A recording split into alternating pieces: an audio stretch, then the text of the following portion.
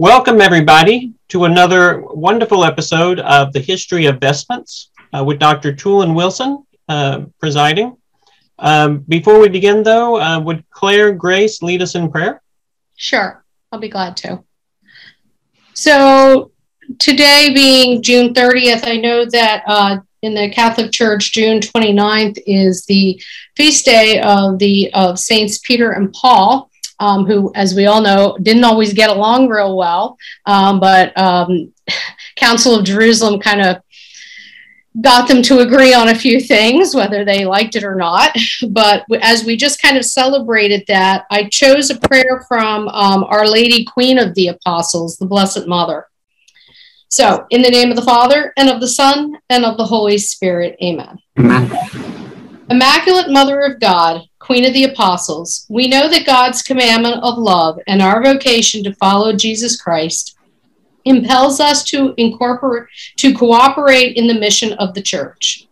Realizing our own weakness, we entrust the renewal of our personal lives and our apostolate to your intercession we are confident that through God's mercy and infinite merits of Jesus Christ, you who are our mother will obtain the strength of the Holy Spirit as you obtained it for the community of the apostles gathered in the upper room that evening. Hail Mary, full of grace, the Lord is with thee. Blessed art thou amongst women, Amen. and blessed is the fruit of thy womb, Jesus.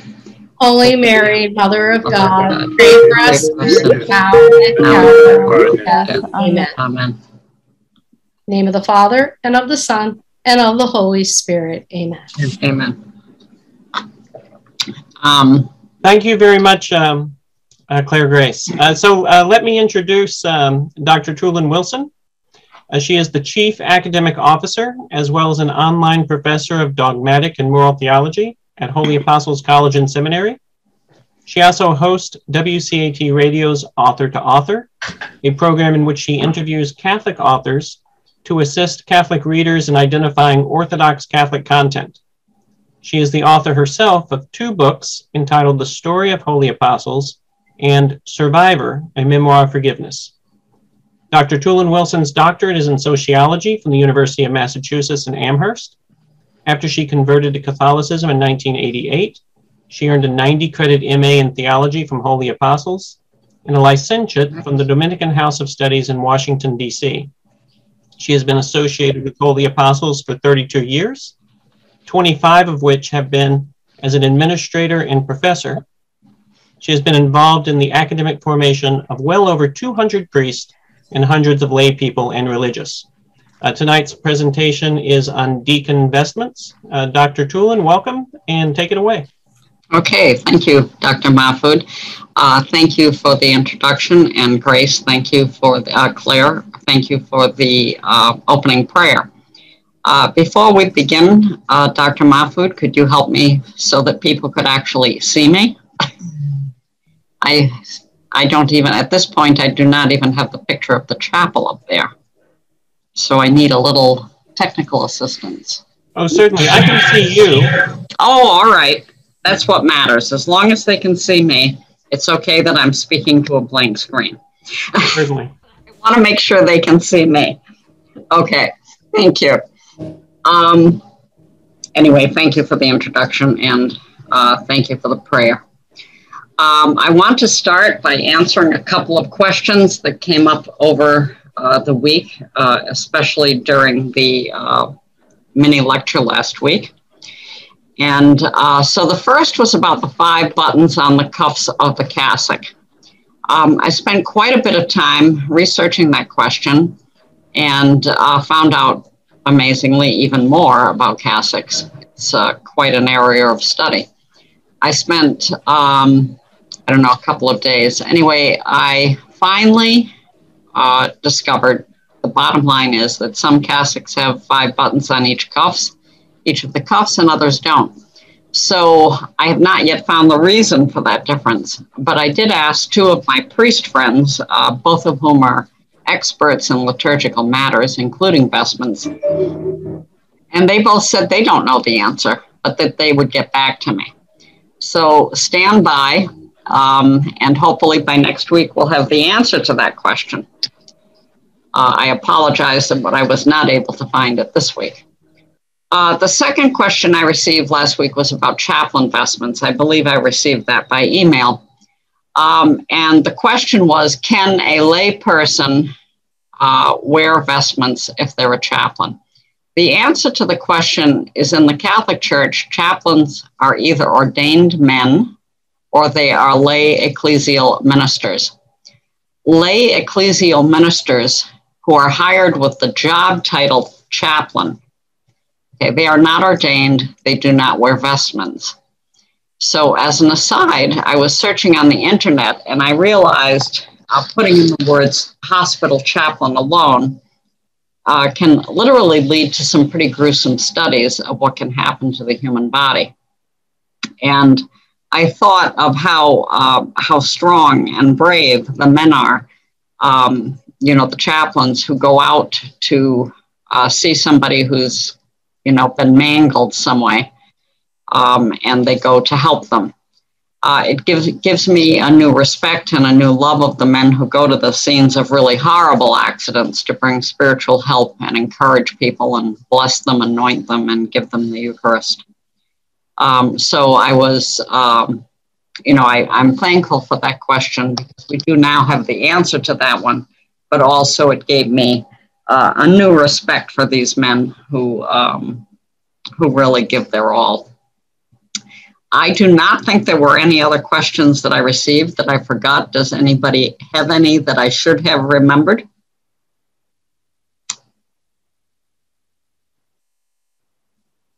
Okay, that's good. Okay, so I will be sending uh, Dr. Mahfood the uh, sources for each lecture. I use quite a bit of sources on the internet um, also some books, and that way you can uh, download them off of uh, wcatradio.com backslash vestments and uh, peruse them at your leisure if you so desire. So this week I'm going to start by talking about deacon vestments, um, many of which, many of the deacon vestments are also the same vestments that priests wear. Uh, the topic of vestments is much more complicated than what we were talking about last week, clericals, as there are so many more kinds. And within the Catholic families of rites and the many orders, there are so many modifications to the vestments. Um, and of course, we can't forget that they've also developed over time. So it really does make for a fascinating study. There are a couple of sources that you might be interested in if you are interested in investments. Uh, the first is a site called www.everythinginvestment.com. It is by a company that makes vestments, but on this site, I found some very interesting uh, reading material. Uh, people, um, you know, we we go back uh, to the time of ancient Israel, and you know that sacred things are set aside for the one God, and certainly clothing is one of those things. However, as you read through that, uh, as you read through that uh, site, keep in mind that the Catholic vestments did not originate in ancient Judaism, although it did have some effects, but in secular dress in the ancient Greek and Roman world. However, that is a site that you might really be interested in uh, reading uh, because it does have quite a bit of information about um, about what was going on in ancient Israel uh, early on, uh, long before the beginning of you know before Christ came. Also, any fashion encyclopedia online will also give you information. So if you go on the uh, internet and you do a search for fashion encyclopedia, uh, you will find several um, and, you know, go into them and just put in the name of a vestment and uh, you will get some information. Uh, I was kind of surprised to see that because I usually think of a fashion encyclopedia, which I have to tell you I've not thought of it often. Uh, but when you look at a fashion encyclopedia, I thought it would be entirely secular but it's not. It also goes into uh, some of the uh, vestments. So, to begin, in the Roman Rite, Latin ritual family, uh, the deacon's vestments are the alb, the amice, if it's required. And I will be talking about that uh, next week because it is usually required for priests. Stole, cincture, and dalmatic. The priest vestments are alb, amice, stole, cincture, and chasuble. So I'm going to be quoting at length uh, from Collins as his information is quite interesting. The easiest way to approach the subject matter is to discuss the original clothing, primarily of ancient Greece and Rome, that evolved into vestments. Those would be the tunic, the himation, the cincture, and the dalmatic. The alb is the form of a form of the ancient tunic. Both deacons and priests wear an alb. Lay people can also wear an alb if they are leading a liturgical service, something like morning prayer, or at Mass if they have an official role. It is an ankle length, ample white garment with sleeves, usually made of linen as it was in the ancient times. It is a symbol of purity. Uh, the tunic itself, from which the alb comes, is an interesting piece of clothing. I have heard it described as a potato sack with a hole cut for the head and two holes for the arms. It was originally very short, knee length at best. In the first century, the tunic was the first article of clothing that was put on in the morning. Working class people wore knee length, knee length tunics while older people and people with less active occupations wore um, ankle length tunics.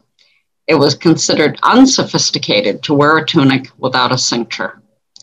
The cincture performed as a belt, whether it was a piece of rope or a nice piece of fabric. That cincture is now worn around the alb, and like the alb, it is a symbol of purity. But back to the tunic. The tunic was originally sleeveless.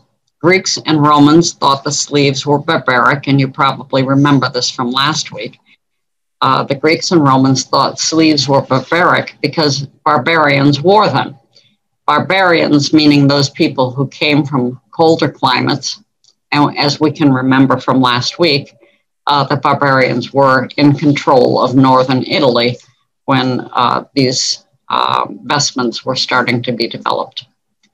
Tunics did not acquire sleeves until the third century, when the Roman Emperor Caracalla, who I also mentioned uh, last week, uh, came from a military campaign wearing a tunic with sleeves. So a modern alb has sleeves because we need to cover the street clothing that has sleeves.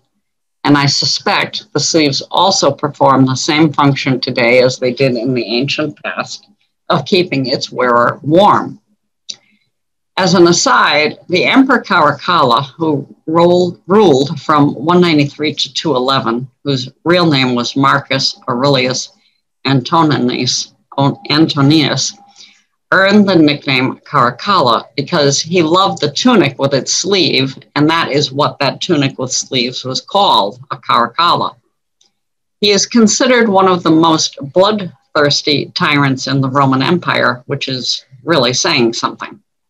He and his brother ruled together for some time. After his father died, it is believed Caracalla had his brother killed uh, so that he would be the sole ruler that really impressed me. Not that he had his brother killed, but what impressed me is that every time you have someone put on an alb in the Catholic Church, uh, we are going into, we're putting on clothing that uh, was actually made popular uh, by a, a man who was a bloodthirsty killer. And yet God has taken that, uh, that clothing with the big sleeves uh, that this emperor loved and has made it a thing of holiness that people wear all the time. Um, so it really, I mean, it's a silly example. I know it's a simple example, but it shows us how God can take things that are not good and make something good from them. So uh, that's uh, a little aside about uh, Emperor Caracalla. Almost every man uh, wore the universal basic dress of antiquity a single simple undergarment, the tunic, that covered the upper body and thighs. There was just two pieces of rectangular, rectangular wool cloth sewn together with holes for arms and head. In most cases, they didn't even have sleeves. They looked like ponchos. They often had two blue or purple stripes running down the shoulders to the bottom. This uh, can be compared to the tunics found in Israel, uh, which were colorful. Yellow, brown, and red uh, were the main colors. But we have to remember that dyeing anything, dyeing any cloth was an extra course. So poor rural laborers accordingly wore undyed cream colored tunics. Christ wore a tunic. There is a famous tradition about Jesus' tunic in John 19, verse 23. When the soldiers crucified Jesus, they took his clothes, dividing them into four shares, one for each of them, with the undergarment remaining. The undergarment was the tunic. This garment was seamless, woven in one piece from top to bottom. Here we learn that it was not sewn together from two sheets of fabric, but the tunic was seamless, woven in one piece. In the first four centuries, people in the church were baptized in the nude. Um, I just let someone in. People were baptized in the nude. When they emerged from the water, they were immediately clothed in a white tunic. For this reason, the alb is a reminder of baptism and a symbol of the resurrection on the last day. An interesting historical perspective comes from the Encyclopedia Britannica. It says the alb, the liturgical vestment worn in some services by Roman Catholic officiants, some Anglicans, and uh, some Lutherans. A symbol of purity. It is full a full length, long sleeved, usually white linen tunic secured at the waist by a cord or a belt called a cincture. Derived from the long white tunica uh, alba or linea, commonly worn in the Greco-Roman world. The alb was retained by the Christian clergy as a vestment after secular styles began changing in the 6th century. It was the 10th century the plain alb started to be decorated with embroidery on the hem and cuff, and it was later decorated with four or five rectangular patches of embroidery. These became less common in the 16th century and were replaced by lace, which eventually covered most of the garment. In the 20th century, with the Roman Catholic liturgical renewal, the plain white linen alb came back into use. I focused on this particular interesting historical perspective because, as you recall last week, what I told you was that when the clothing changed for Catholics, it wasn't because we innovated into something new. It was because we remained with the old. And so the rest of the world moved on and added other clothing, different clothing, but we basically stayed wearing the same thing. And here we have the same thing. The style started to change in the sixth century, but the alb did not for Catholics. Excuse me. In the 10th century, it did start to change because we added embroidery um, and lace. Anyone who has a leadership role in worship um, can wear an alb and cincture, whether they are clergy or lay people. Only clergy wear a stole over the alb. Both deacons and priests wear the cincture, which is made of cloth, usually flax, hemp, wool, or silk, or rope. If it is made of cloth, it can be white or of the color of the liturgical season. It is put around the waist like a belt and tied. The cincture represents chastity and continence. Since deacons tie the stole on the left, they usually tie the cincture on the right.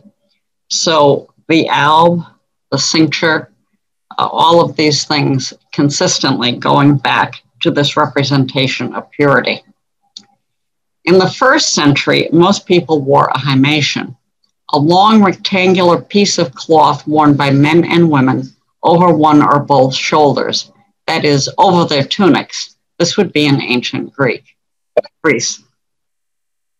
I'm admitting someone else here. Um, note the himation never became a vestment. It would have been approximately 18 feet long. Scripture tells us that Jesus wore a hymation to the crucifixion. So remember, the soldiers took one piece of clothing and divided it into four pieces, and the other piece they cast lots for because it was woven in one piece. What the soldiers tore was the himation.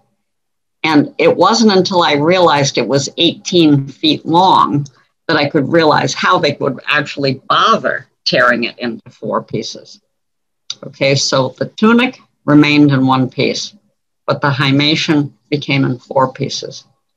Now, Jesus's tunic would have been sleeveless and ankle length. It was the same kind of tunic that the high priest wore when he entered the Holy of Holies to atone for the sins of the people.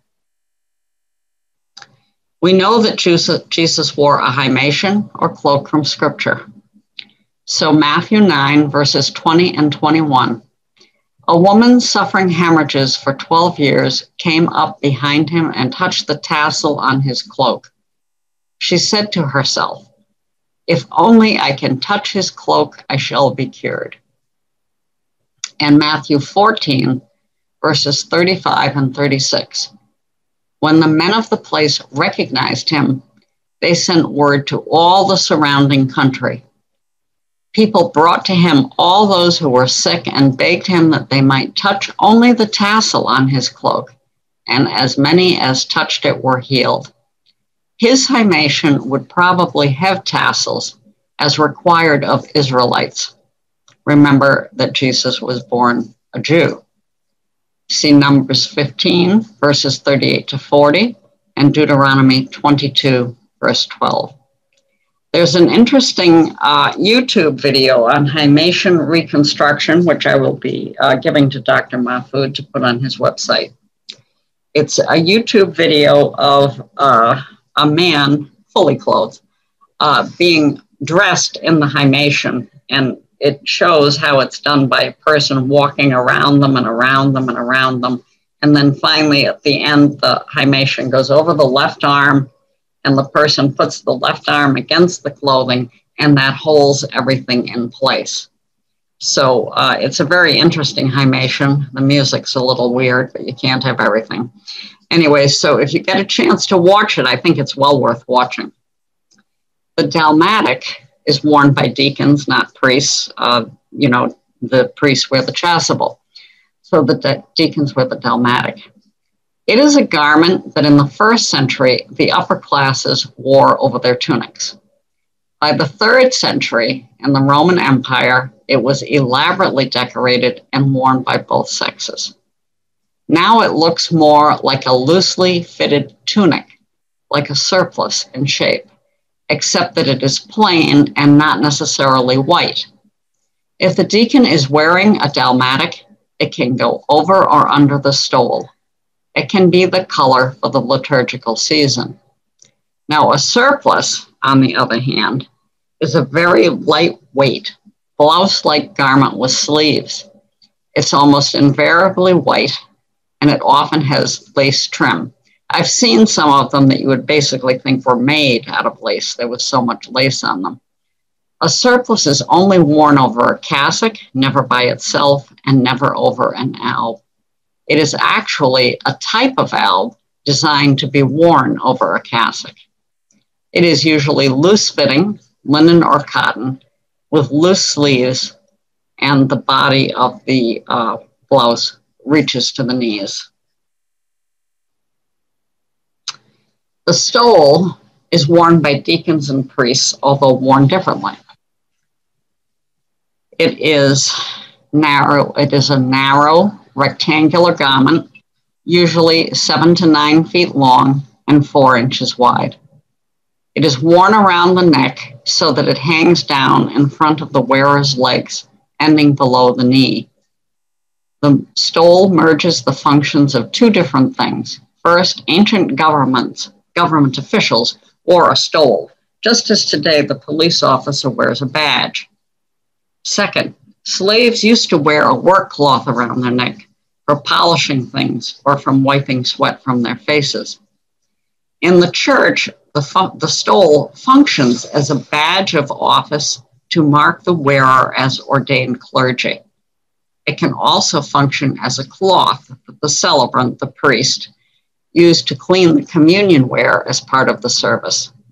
For these reasons, the stole became a Eucharistic garment. The stole is a symbol of immortality. It is given to a man when he is ordained as a deacon or a priest. Modern stoles are usually the appropriate color for the liturgical season. Only ordained clergy wear a stole. A deacon, obviously someone who is ordained, can also wear a stole but it is customary for a deacon to wear it over his left shoulder, tied at the waist on the right side, so that the stole hangs diagonally across his chest. A stole can be over, worn over a robe, an alb, or a cassock. If a deacon combines an alb, dalmatic, and stole, the alb goes on first, and then the dalmatic, and then the stole on top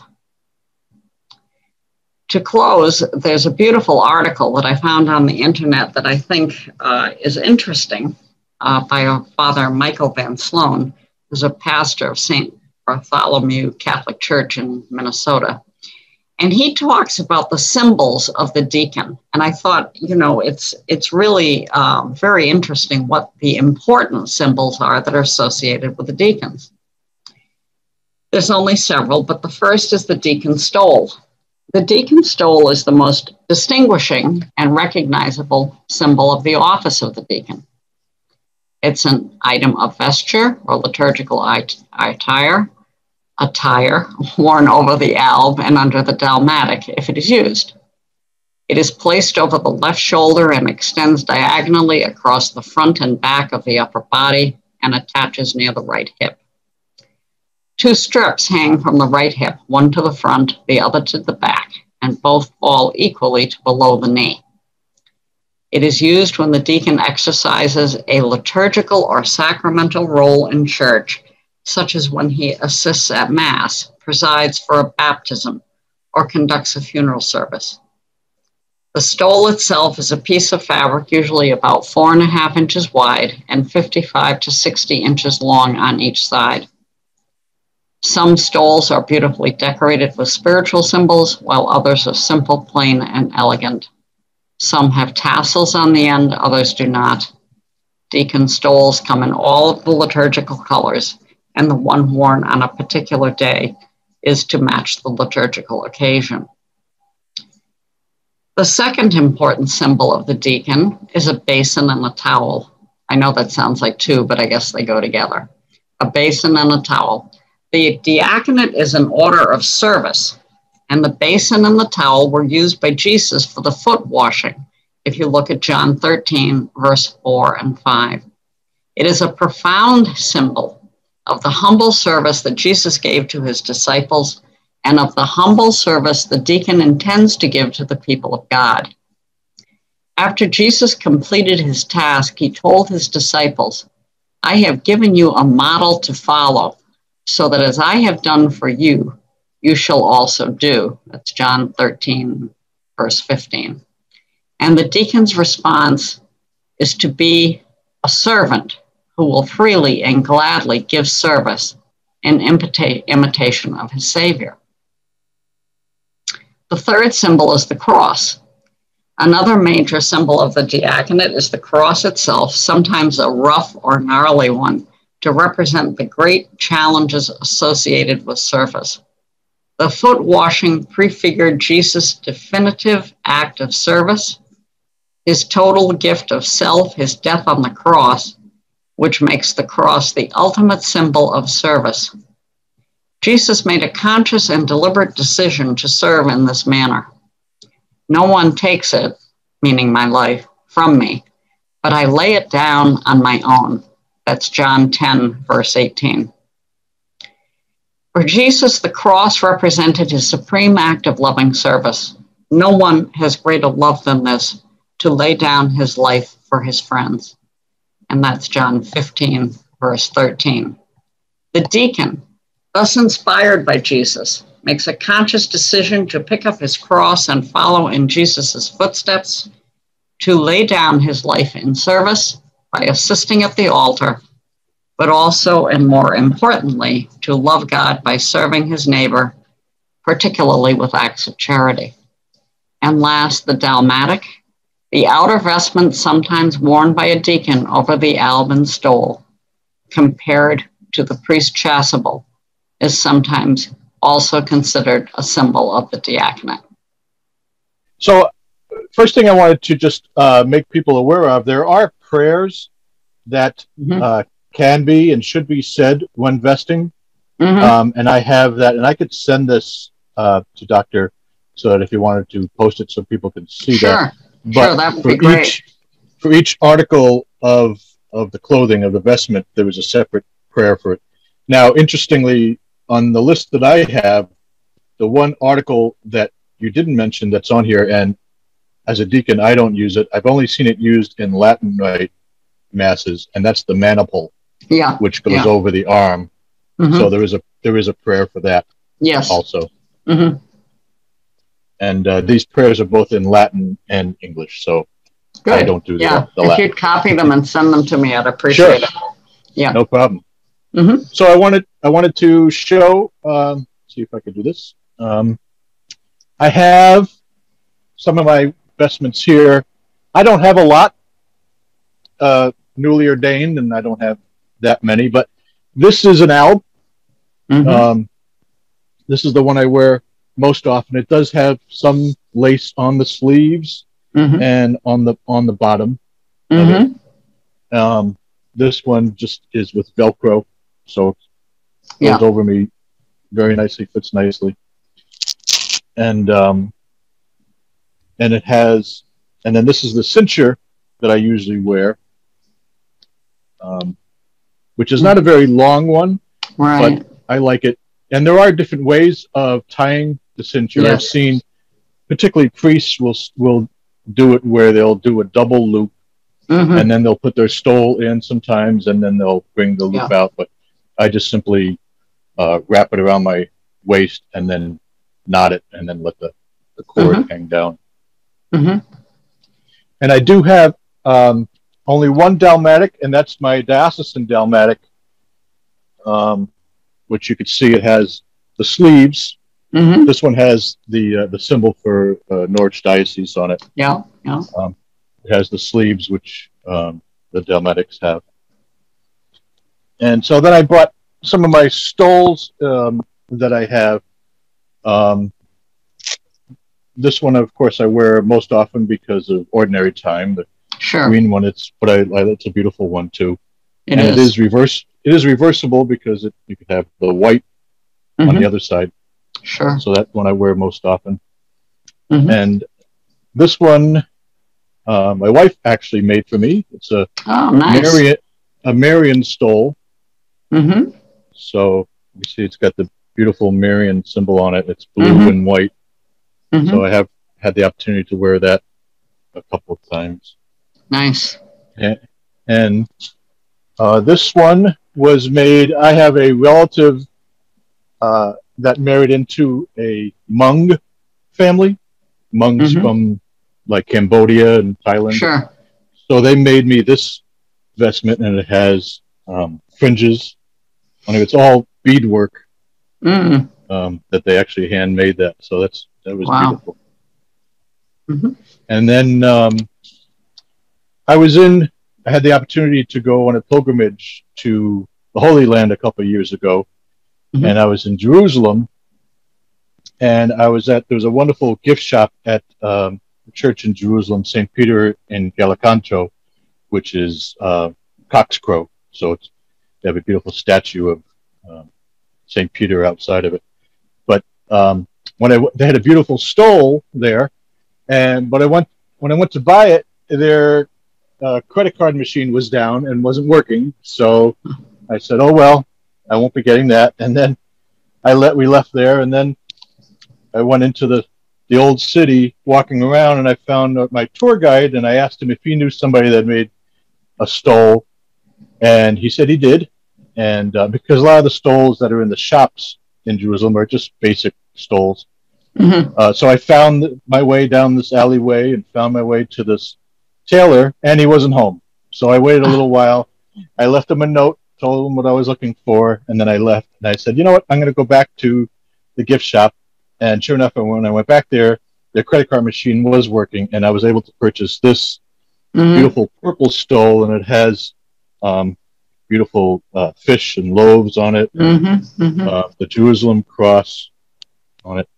And then when I was leaving the hotel uh, the next day, um, there was a message for me that the tailor had gotten my message and he actually left me um, a stole uh, mm. before I left in Jerusalem, and that was this one here, this green one that's mm. handmade in Jerusalem. Nice. It is beautiful. So again, all these are worn over my left shoulder, mm-hmm. And then they hang down, and they usually tied or clasped on the right side. Mm-hmm. Nice.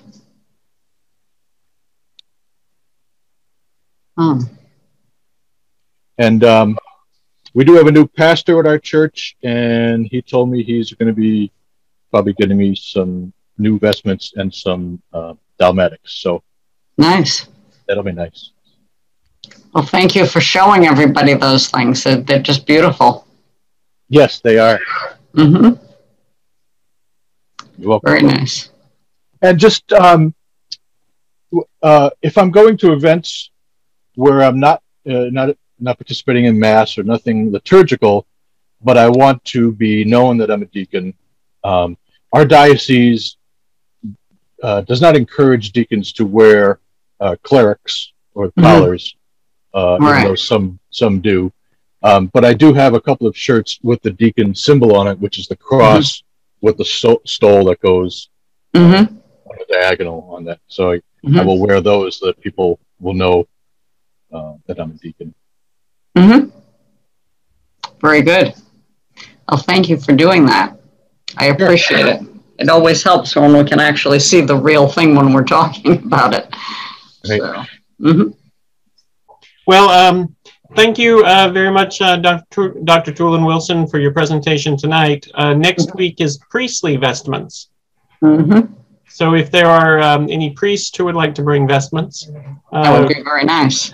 We're welcome to do so. Mm-hmm. Um, so do you have any closing uh, thoughts? Uh, Dominic um, is going to close us in prayer, but before he does, do you have any summary thoughts, Dr. Toolin Wilson? Uh, I think basically the uh, the summary thought I have is how beautiful it is that we have um, ordained people that are uh, here for service. You know, um, it's you know it's it really is something when you think of people helping other people. Um, not because it's just something that they want to do, but because it's something that's ingrained in their vocation. Um, so I think that that is beautiful. But that's uh, my last thought for the night. Thank you, Dr. Toolin Wilson. Uh, Dominic, mm-hmm. would you close us in prayer? Oh, and you're muted. Uh, you're you're muted. You want to unmute. Thank you. Thank you. In the name of the Father, and of the Son, and of the Holy Spirit. Amen. Almighty and ever living God, we thank you for this important conference. We continue to invite you to lead us, to guide us. We thank you for the gift of life. We pray for Dr. Cynthia for the input that he's given us for our understanding we pray that whatever we have received, we'll be able to embrace it and to enforce it, to bring a beautiful liturgy into play, for people to really appreciate and experience your presence in the liturgical celebrations. We pray for each one of us, And we pray for all the church that give us the wisdom, the needed support that we need to educate ourselves about the treasures that you have given to your church, that we will become aware of what we are supposed to do. We pray for the conferences that we are about to receive. We pray for good health for the Cynthia and organizers of this program. We pray for each and every one that the next week we'll be able to nourish ourselves with a beautiful liturgical activity that you have blessed your church with. We are this through Christ our Lord. Amen. Amen. The Father and of the Son and of the Holy Spirit. Amen. Amen. Mm-hmm. It was a beautiful prayer, Dominic. Thank you so very much. Mm-hmm. All right, we'll see everybody next week. It's the same link, same time, same day. Uh, God bless you, and I'll post uh, the recording of today's session on uh, uh wcatradio.com slash vestments. God bless you, everyone. Yep, bye-bye. Thank you.